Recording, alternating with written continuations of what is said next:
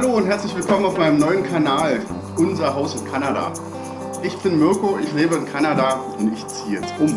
In dieser kleinen Bruchbude habe ich jetzt äh, fast vier Jahre lang gelebt. Ein Einzimmerraum in der zweiten Etage eines Apartmentkomplexes. Und das muss jetzt alles in mein neues Haus.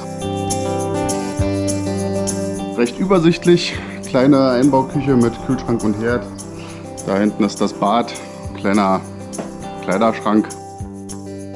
Da stand immer ein Esstisch, hier stand mein Bett und äh, dann hier noch die kleine Arbeitsecke. Kaffee ist auch am Start, also kann es losgehen. Ja, ich muss jetzt noch ein Auto abholen. Ich habe mir einen U-Haul-Transporter gemietet. Den hole ich jetzt gleich ab. Die Vermietstation ist hier auch in der Straße, das ist gar nicht so weit. Und dann kommt mein Ex-Kollege Heiko vorbei. Und dann geht's los. Im Prinzip wird das ja jetzt das 1000 Abonnenten-Spezial, oder? Ich habe es doch wirklich geschafft, äh, ohne ein einziges Video zu veröffentlichen, schon über 1000 Abonnenten zu haben. Also, ihr kennt mich ja alle schon. Hallo!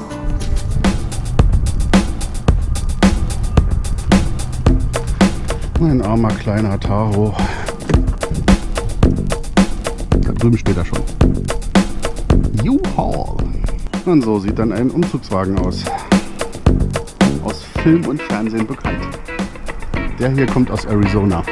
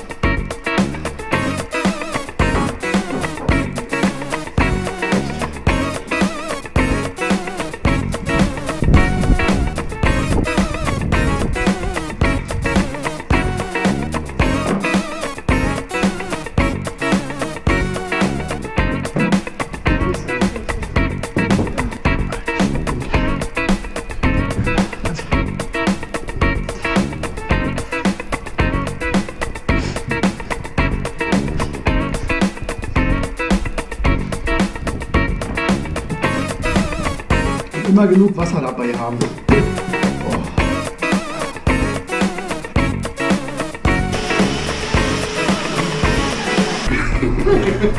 yeah. So Leute, hier habe ich vier Jahre verbracht in dieser Muchtenbude. Vier Jahre lang habe ich hier gelebt. Da oben habe ich gewohnt. Und das war's. Und bist du aufgeregt? Ich nicht. Aber du bist aufgeregt, weil ich fahre. Ja, okay, das, ja, ja, hab's verstanden. Und als hätte ich mit dem Umzug nicht schon genug zu tun. Ich sitze gerade in einem Autohaus. Ich glaube, ich kaufe gerade ein Auto. Ich habe echt einen Schatten.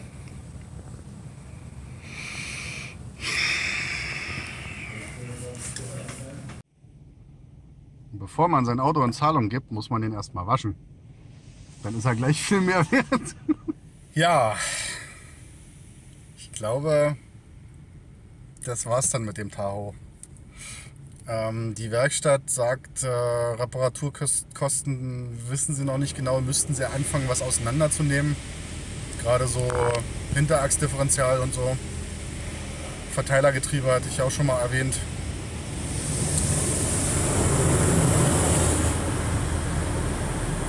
Und äh, sie reden von 1000 bis 3.500 oder 4000 äh, Reparaturkosten. Der hat ja nur 4.500 gekostet für mich vor vier Jahren. Ja, und deswegen äh, gebe ich ihn vielleicht in Zahlung. Ih, die machen mein Auto dreckig. Grün, lila, blau. Als hätte jemand einen Tide Pod ausgedrückt.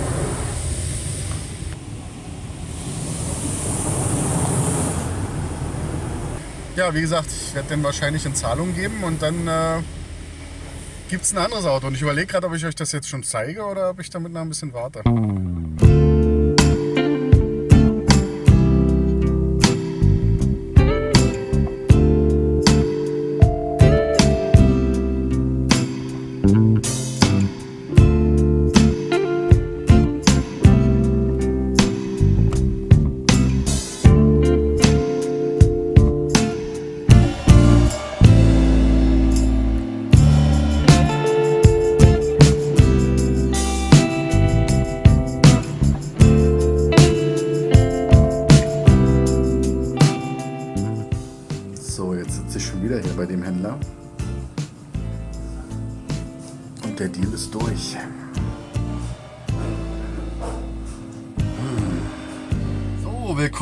Meinem neuen Auto. Ach nee, Quatsch. Ist ja der U-Haul-Truck.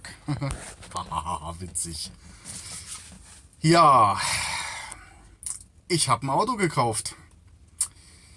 Das Problem an der Sache ist, das passt jetzt nicht zum Umzug. Deswegen mache ich jetzt erstmal mit dem Umzug weiter und mache vielleicht ein neues Video für das, für das Auto. Und weil ich ja der König der Cliffhanger bin, müsste da wahrscheinlich noch eine Weile drauf warten. ja, ich mache das jetzt einfach. Ähm, ich werde euch noch nicht sagen, was es ist. Müsst dann noch ein paar Tage warten, schätze ich mal. Mal gucken, wie es mit dem Umzug weitergeht. Da habe ich erstmal genug Material für ein Video.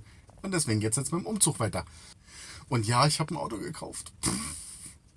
Und ich habe den Taro in Zahlung gegeben. Ich habe den Taro in Zahlung gegeben. Ah, da blutet mir richtig das Herz. Ist einfach fertig, die Karre. Wenn man mal ganz ehrlich ist, die Karre ist richtig hinüber.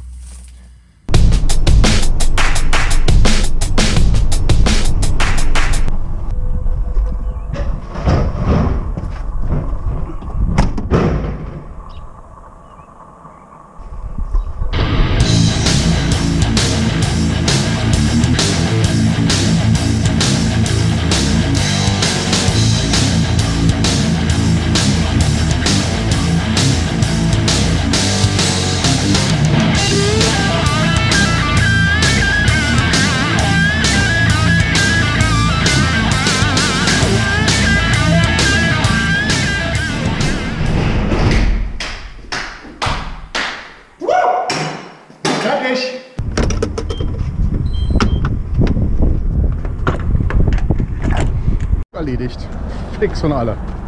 So, ich habe ja erzählt, ich habe mir ein neues Auto gekauft. Das ist er nicht.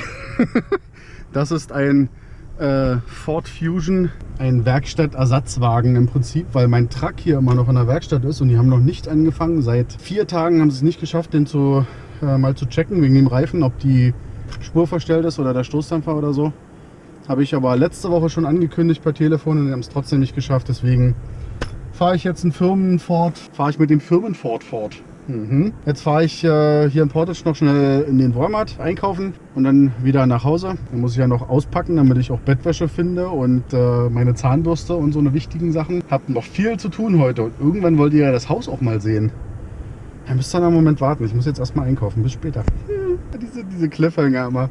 Ich finde es lustig. Die kommen von ganz alleine. Ich kann da gar nichts machen. Oil Change required. Na, nicht nur das, würde ich mal sagen.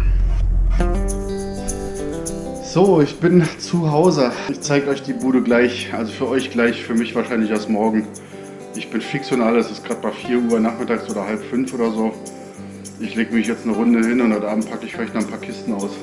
Kleiner, kurzer Sneak Peek. Küche, Wohnzimmer. Muss erstmal reichen.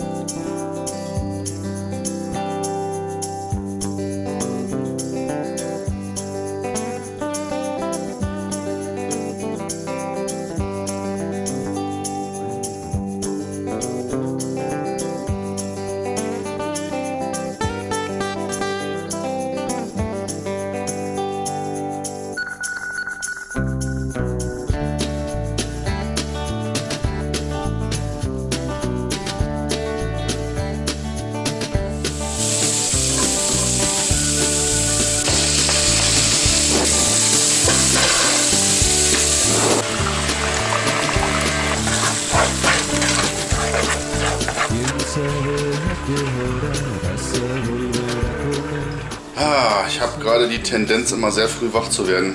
Um sechs, halb sieben, die Sonne aufgeht. Ist ja auch nicht so schlimm. Hat man was vom Tag. ja, großer Tag heute. Heute Auto abholen und zum Zahnarzt muss ich. naja. Und danach zeige ich euch das Haus. Versprochen. Vielleicht. Mmh, Mahlzeit. So Leute, ich bekomme Internet. Gleich am ersten Tag nach dem Einzug. Ich bekomme Internet. Ja, und hier sieht's aus. Äh, richtig typisch für mich.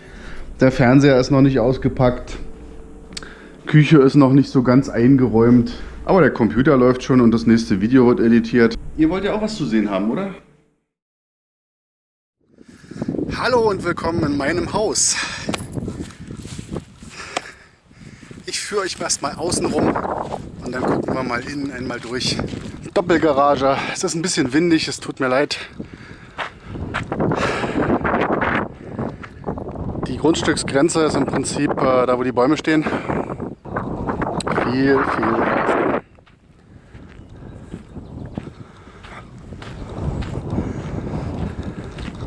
Hier stand mal ein Schuppen.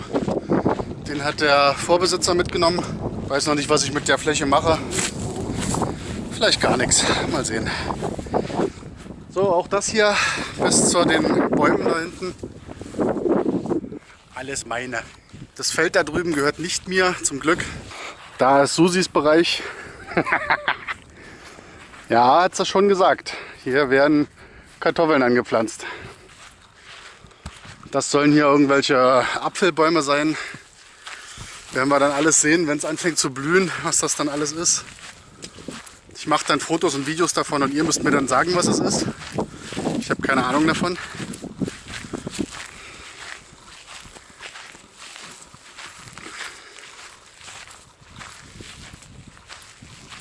Richtig viel Beet und Garten. Hier stand mein Pool.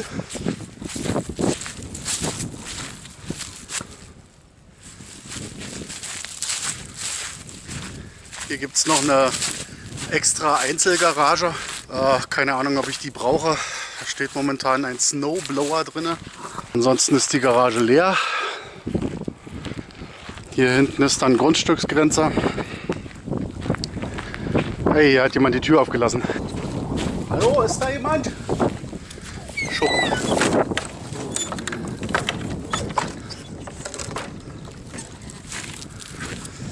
Ja, hier ist dann Schluss.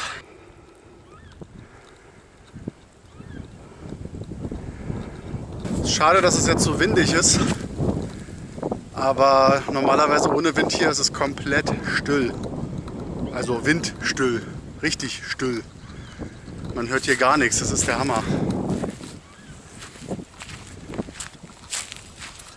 Ein kleines Wäldchen. Das Wäldchen gehört mir nicht, aber ist im Sommer bestimmt auch schön. Hier ist noch eine zweite Auffahrt, die gehört auch zu mir. Da kann ich dann immer den Truck schön parken.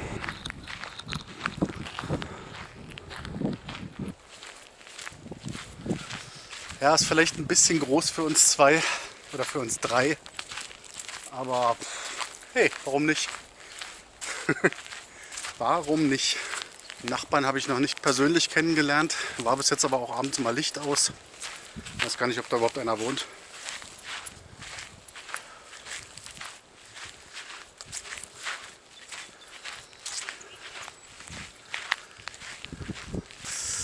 Ja, ist doch schön, oder? Lässt sich leben. Ja, wie gesagt, die zweite Auffahrt. Weil eine Auffahrt alleine ist mir nicht genug. So sieht's aus. Da muss man eine ganze Weile laufen, wenn man hier einmal rundherum laufen will. Ja, und das ist die zweite Auffahrt. Die Hauptauffahrt zum Haus. So, dann gehen wir mal rein.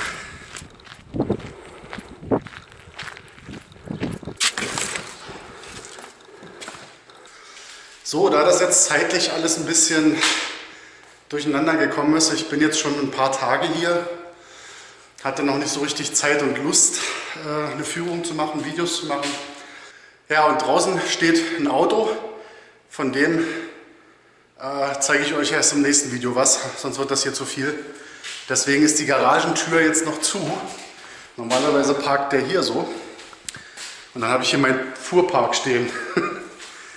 Rasenmäher-Traktor habe ich auch schon mal probiert. Fährt einwandfrei. Ja, große Doppelgarage, nicht so richtig beheizt. Das Ding da ist ein Heizstrahler, aber wenn ich den einstöpsel, das ist ein Kraftstoff, Kraftstromstecker, dann äh, geht wahrscheinlich hier rundherum das Licht aus. Also bin ich mir noch nicht so sicher, ob ich das so gut finde. Im Winter wird es hier richtig kalt, die ist halt absolut nicht isoliert. Als ich hier war im Januar, glaube ich, waren hier genauso minus 20 Grad wie draußen. Ich überlege noch, ob ich das isoliere, aber es ist ein ganz schöner Aufwand.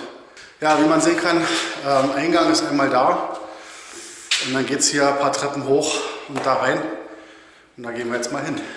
Laufe ich hier mit so einem ollen Selfie-Stick durch mein Haus. Dann ist hier ein kleiner Flur. Und hier links geht es zur Küche.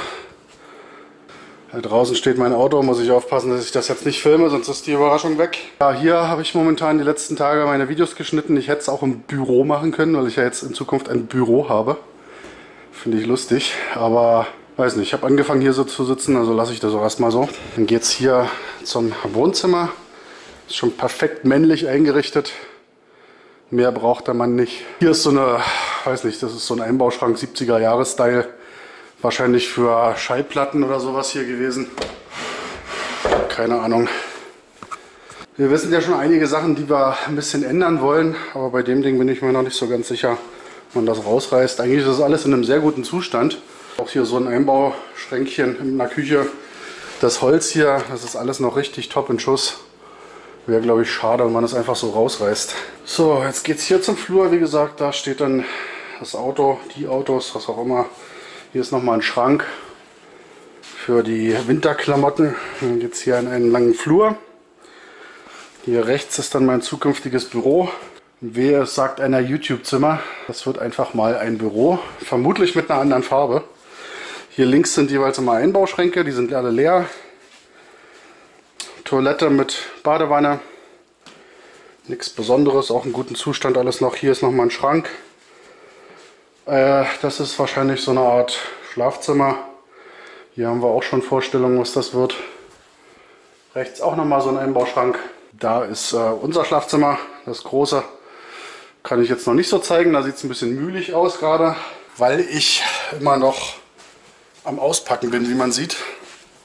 Ich habe ja hier auch immer noch überall was rumstehen.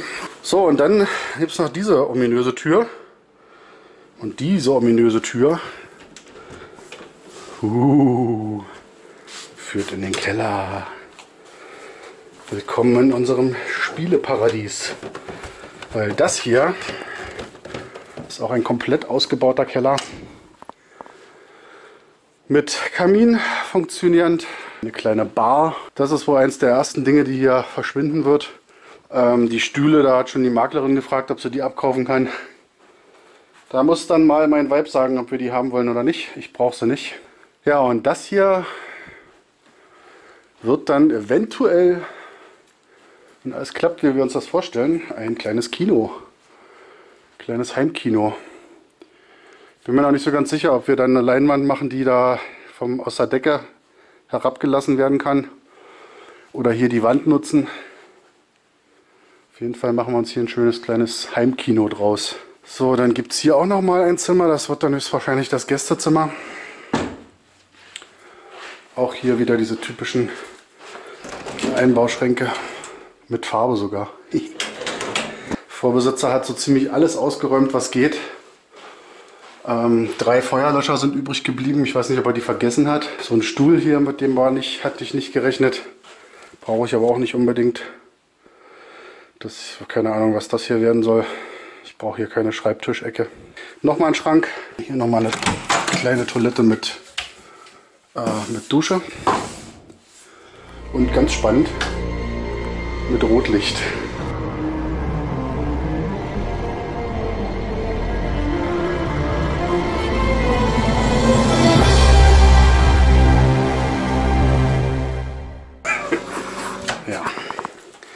drehe schon wieder durch. Die Wäschekammer oder die Waschküche. Äh, Waschmaschine und einen Trockner. Wasseranschluss, ein, eine Gefriertruhe. Und äh, hier sind dann eine Wasserpumpe, ein äh, Warmwassertank und ein ähm, Weichmacher, Wasserweichmacher, wie sagt man denn? Ein Water Conditioner System ist das. Weil das Wasser hier ziemlich hart ist, kann man das damit weich machen. Und hier geht es dann wieder zurück zur Garage. Wenn man möchte, kann man hier auch rausgehen. Und dann sind wir wieder in der Garage. Von hier aus gibt es dann auch einen Weg ui, auf die Terrasse. ist denn das so windig heute?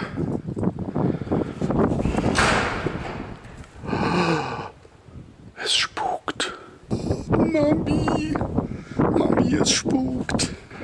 Ja, von hier aus habe ich ja schon mal ein Bild gepostet bei Instagram. Das ist übrigens eine Wäscheleine, falls ihr euch wundert, was das sein soll man hier Wäsche aufhängen und dann kann man die so. Aha. Ja. Und mein kleines Reich. Hier stehe ich dann morgens immer wie so ein König.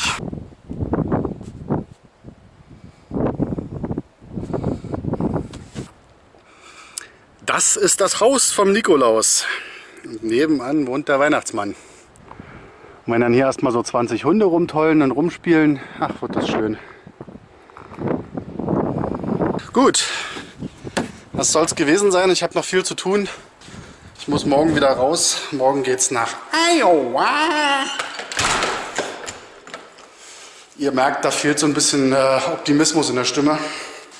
Ich habe nämlich gar keine Lust, schon wieder loszufahren. Ich möchte gerne ein bisschen im Haus bleiben, aber naja. Morgen geht es nach Iowa. Und äh, wie es dann weitergeht, weiß ich noch nicht. Die Videos werden dann wieder äh, auf Mirko auf Achse kommen. Beziehungsweise jetzt die Woche werde ich erstmal keine Videos machen beim Fahren. Ähm, ich muss mich jetzt erstmal wieder so ein bisschen ins Fahren, ins Reinfuchsen irgendwie und weiß nicht, ob ich da großartig Videos mache. Na gut, ja, das soll es gewesen sein von diesem äh, Einführungsvideo von dem Häuschen. Das nächste Video, da zeige ich euch dann das Auto. Ja, und dann Weiß ich auch noch nicht, wie es weitergeht. Lasst mir ein Abo da, falls ihr das nicht schon gemacht habt. Ach, hab ich doch im Keller wieder vergessen, Licht auszumachen. Es wird weiter hier Videos geben, was das Haus betrifft. Hier auf unser Haus in Kanada. Oh, ist ja wirklich alles offen hier. Also, da muss man aber noch dran üben. Ja, in diesem Sinne, bis zum nächsten Video. Vielen Dank fürs Zugucken. Ciao, tschüss. Und du bleibst unten.